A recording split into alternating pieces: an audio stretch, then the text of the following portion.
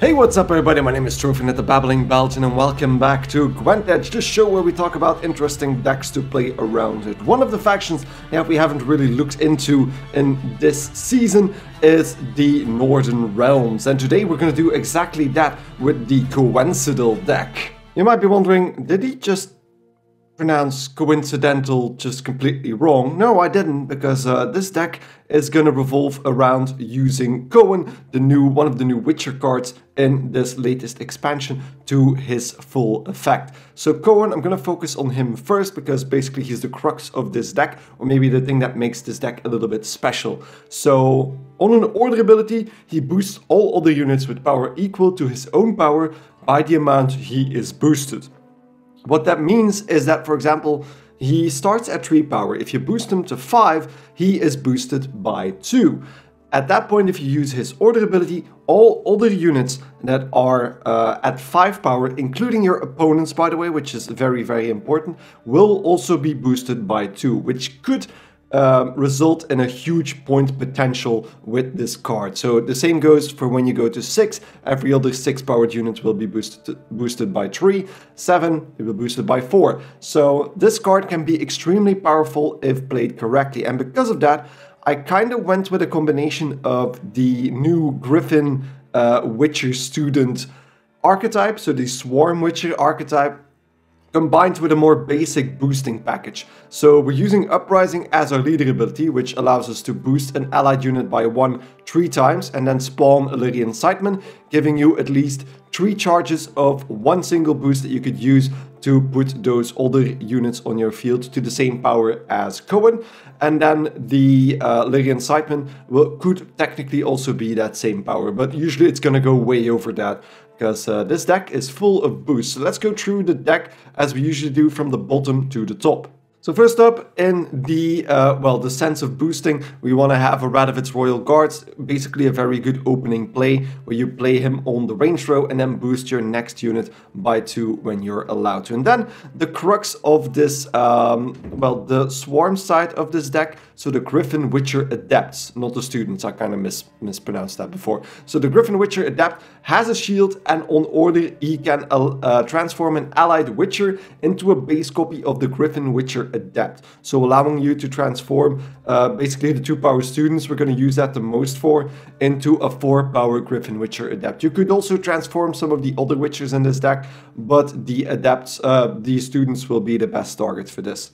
Then a squirrel, just of course because my logo is a squirrel, no. It's because it's a very useful card uh, if you have four provisions left that you need to fill and allows you to banish a card from your opponent's graveyard and that is exactly what we're going to be using it for, for getting rid of annoying Deathwish cards that stay in the deck uh, in the graveyard, getting rid of something like a Kolgrim that you managed to destroy, although the um, yeah, there's not too many removal options in this deck, but still it could be possible. Uh, or of course getting rid of Echo cards, which will use it for the most. So like Oneiromancy um, and any Echo card you might come up with. Then the boost package is also includes a few Tridam infantry units, so whenever these guys are boosted, they will damage a random enemy uni unit by one, which of course gels very well with Uprising as a base and some of the other cards as well. Then Target Practice, the new Warfare card, boosts an allied unit by four, and if that row also has a Witcher, you spawn a Witcher student on that row, which you can then transform into a Witcher Adept if you have one on the board. Rune Word is basically just a little bit of vitality and a shield that you can use to protect one of your uh, more engine type units. Then two Temerian Drummers, of course for the boost package, boost the unit to the right by one at the end of every one of your turns.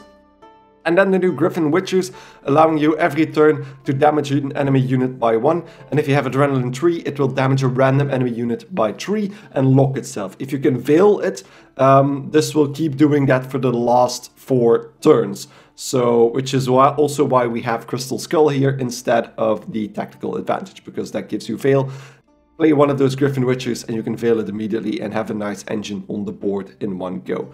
Boiling Oil is basically the only removal option here. Um, then we have Selective Mutation, a very interesting like Adrenaline card tutor.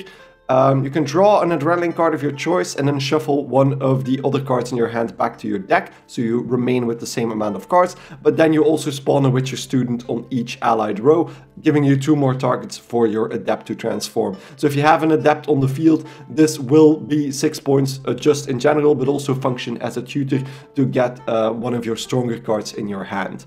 Then the reinforcements is mostly used to get another adept if one of your adepts is locked, so that you can continue your swarm.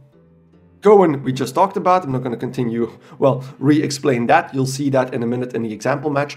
Anna Strenger, always a very powerful option in a boost-related deck. So put that between the Tridam Infantry unit and a Drummer, and she will get boosted immediately and then boost the two units right next to her at the end of the turn. Uh, Voimir. Voimir is in this deck because, of course, we're using a Swarm deck, well, the Swarm archetype, and Voimir allows you to boost an allied unit and all of its copies by one and give him one armor. So that's just gonna basically level up all your adepts to another power level. And since we're trying to combine them with Coën, that just basically levels up your entire board.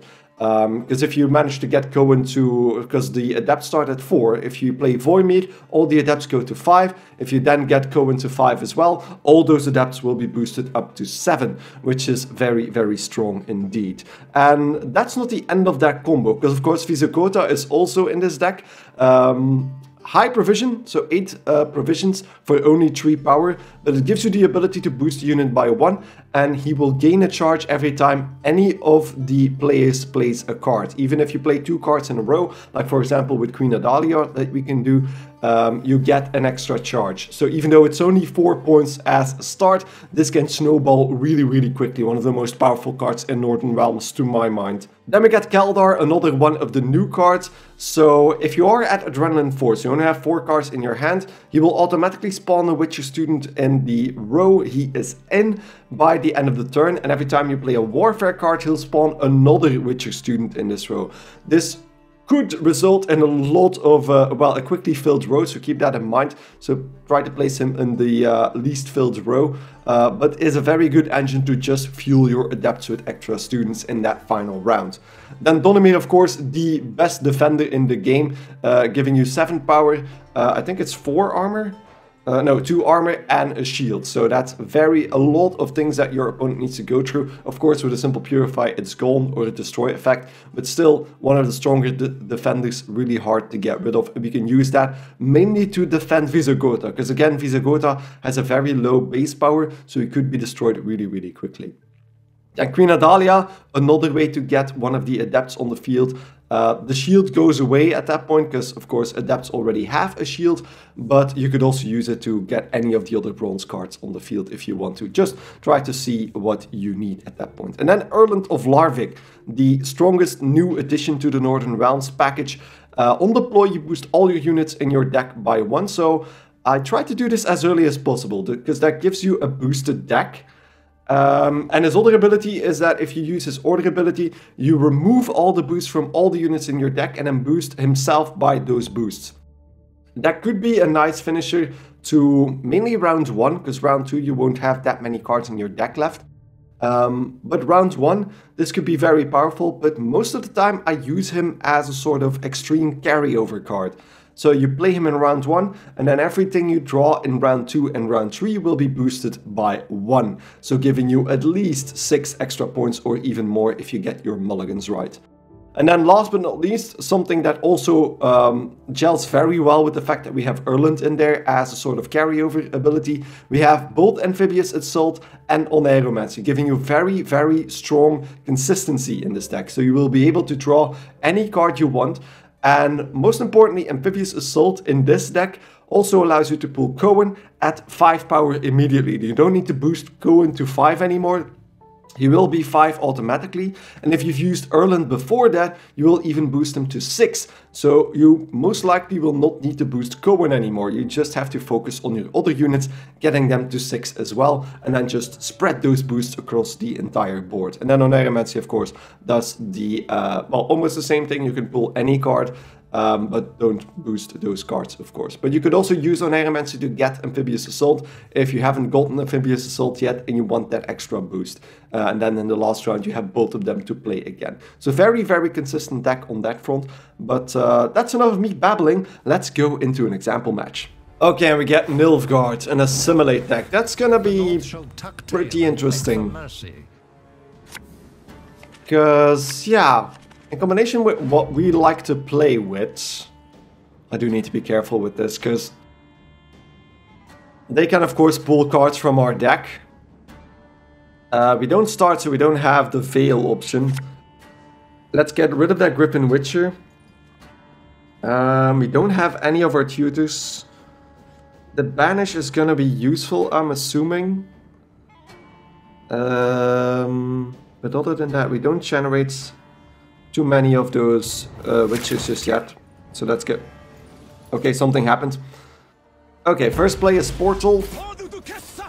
They're gonna get a lot of Assimilate out of that. Um, oh, let's just play the Griffin Witcher first. He's gonna generate a few points for us.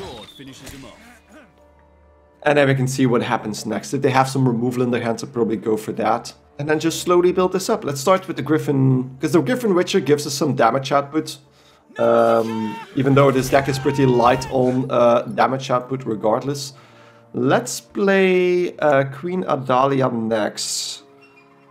Because she can actually duplicate the drummer. And give that a shield and then put that on the uh, Griffin Witcher and let's just start laying into that um, yeah that soldier over there, the, uh, the Ducal Guards. Then we get a Slave Hunter. And of course what we're gonna do is put the Tridam Infantry. Hmm. Could put another drummer in between here. So let's just do double drummer first. And keep focusing on that assimilate unit in the back. And that gives us a bit of uh, engine potential right here. Just trying to show off that combination of having some, some sweet, sweet boosting going on and then we get Artorius probably on, yeah, the Duchess Informant, triggering Assimilate once and then triggering Assimilate again because of the fact that the uh, Griffin Witcher will be played again. I'm guessing. No, the drummer.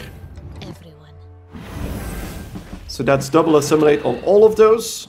Um, let's just continue playing this slow. I can put the Tridam Infantry unit in between here. Um, and continue damaging, yeah, the Ducal Guards. Doesn't really matter at this point. Because that still gives us about, that is two boosts. Okay, yeah, that was to be expected.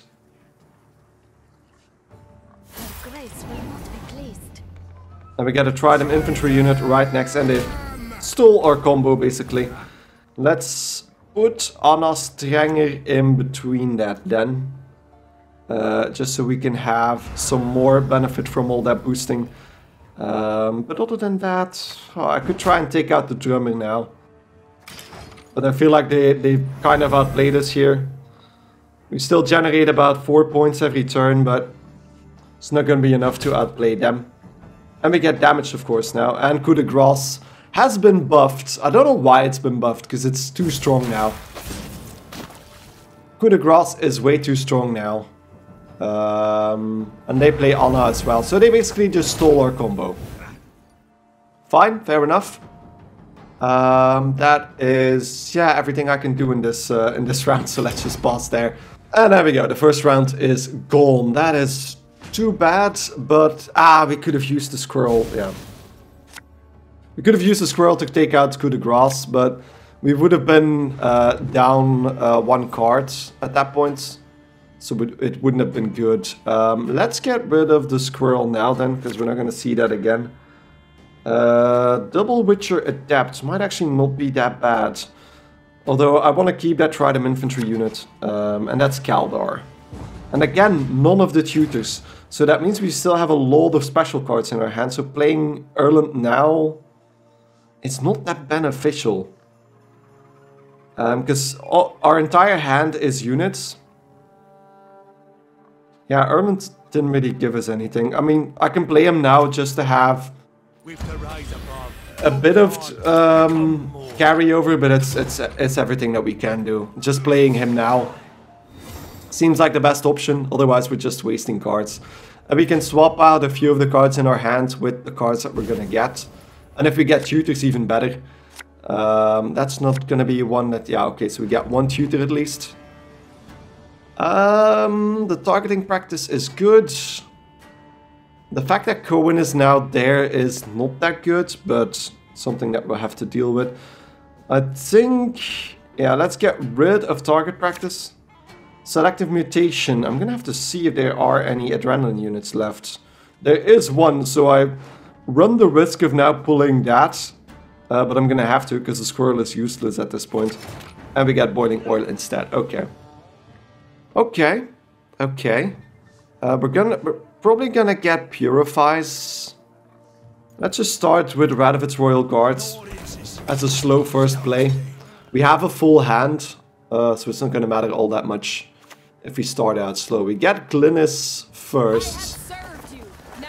And again, I don't have any removal in this deck, so it's just uh, trying to build up our own side of the field. So let's play uh, Donimir. He's probably gonna get purified.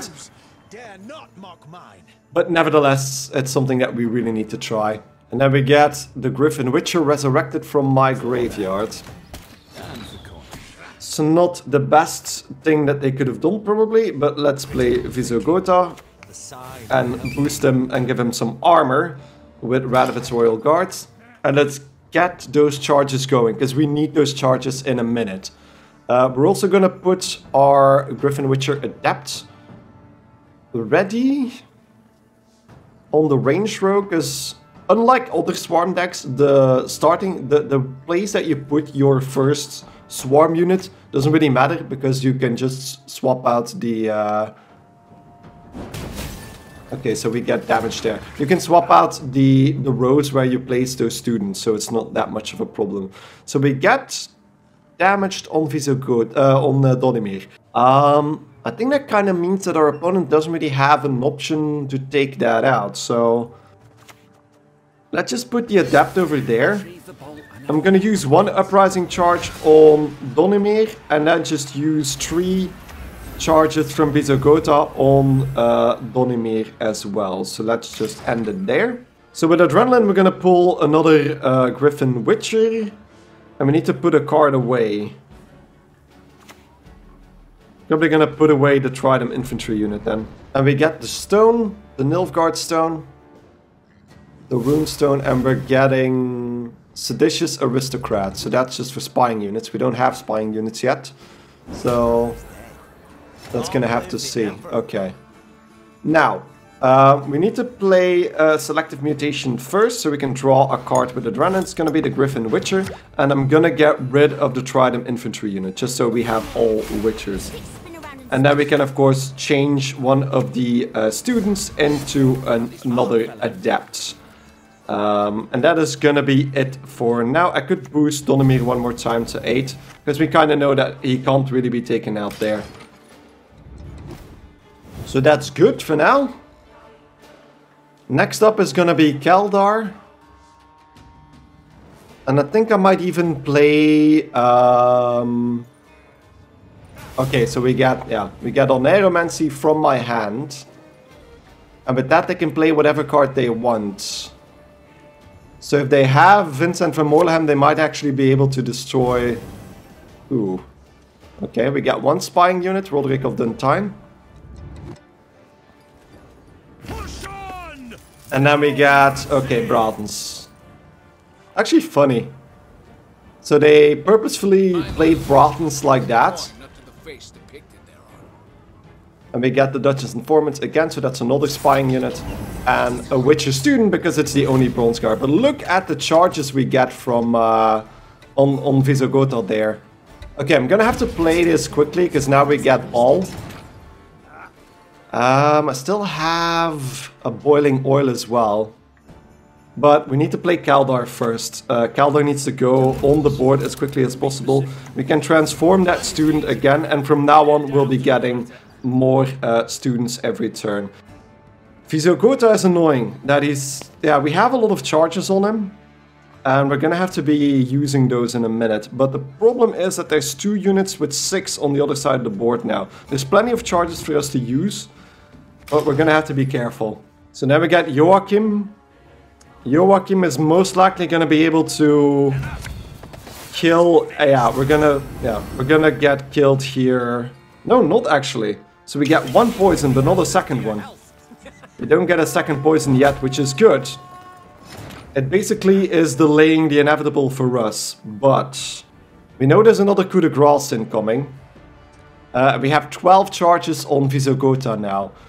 So I think I'm gonna have to do this quickly, by the way. Um, so I could put I could put Coën down. Coën should be going up to um, I think five. Five is gonna be the best because I can then boost everything up to five. Please don't give me the timer yet. Please don't give me the timer yet. Please don't give me the timer yet. Please don't give me the timer yet. Uh, so Coën is at 5. And that is also at 5. And then we're gonna get... Uh, bum bum bum bum. Yeah, doesn't really, doesn't really matter all that much. And then play that, play that, play that somewhere. Yeah, okay. We're gonna have to do it now. Whew. Okay, that's the end of that. So that's what happens if you play code. it worked. It worked. It worked like a charm. That was great. Okay. Wow, that was really close, by the way. On uh, timer-wise. We got a lot of points there. And it might have been a bit too soon, but we're gonna get poisoned now on uh, Donimir, and I didn't want to risk getting destroyed there. Uh, we get another Slave Hunter. I don't think we might even win this, because even after that, our opponent seems to be doing better than us. Um, what else do we still have in the deck, by the way? We still have Voimir as well, so that's going to be my final play. I could probably... Um, yeah, let's play the Griffin Witcher now, although no. He's going to have to go on the melee row, and I don't even want to do that right now. So let's just transform another Witcher student play boiling oil on whatever the hell, because I don't really care about that at the moment. And then start boosting, yeah, just start using those those charges. Uh, not on the student, of course, because we don't want to...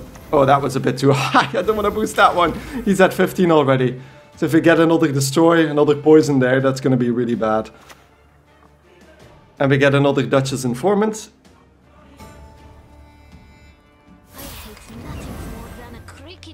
And they're actually filling up our row rather nicely. So...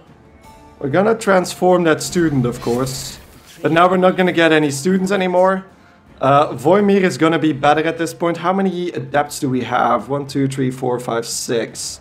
So if we play Oneiromancy, um, on Voimir, we actually get this, and then on the Adept, there we go, and we get four more charges on Vysogota, so let's just put that on the Duchess Informant, I guess. And there we go. So if they play another Duchess Informant, we can't play our last card, which is exactly what's gonna happen. I'm guessing. So we get Triss Telekinesis, and they get Experimental Remedy, gonna pull another Duchess Informant, and our rows are full. So the only thing that we're gonna be able to do is play some more Oh, wow. Yeah, that's gonna be really good, yeah. We lost we lost the game, but I think it's a really good game to show you what we could do with this thing. Um, so let's just boost everything here. I could actually transform another unit, but that's not gonna help us much. So even we could have played our last card, um, so our board is full. So let's just do this. And we can't transform anything. It's not gonna help us. We can, but it's not gonna help us. So that's... I mean, it did show how big this deck can become. It was really close with the timer there, so I hope that was enough to show you uh, what this deck is capable of. We sadly lost, but still, it's a really, really fun deck to play with, as you saw. The combo with Coën is really, really cool. So if I had gotten a little bit more lucky with when I played Erland, or I should have just played him sooner, uh, I would have actually won that closely, I guess. But yeah, against Assimilate, uh, since I don't really have a lot of removal, they kind of had the upper hand. But uh, still, I think we managed okay. So this is, again, the deck. You can check it out. The link to the deck guide is also in the description. You can check it out over there. And uh, yeah, hope you guys enjoyed it because it's a really, really fun game, uh, fun uh, deck to play with. Even though it's not one of the most powerful decks, if your opponent doesn't have too much removal, um, this can still be a very powerful deck. But that's it for today. Hope you guys enjoyed this deck guide on the Coëncidental deck, because uh, yeah, kind of went with uh, the wordplays over there. But really, really like this deck, even though it's not the most powerful deck in the world. It's a good deck to end the season with, I feel like. Uh, next month, we're not gonna get any balance changes, so this deck will still be kind of viable in the next month as well, as are all the other decks that we discussed this month. And uh, yeah, that's it for this season for me. Hope to see you guys in the next season. And uh, yeah, thank you very much for watching, and I'll see you guys in the next episode of Gwent Edge, where we'll check out another amazing deck to play with. Thank you guys so much for watching, and goodbye. Stay nutty.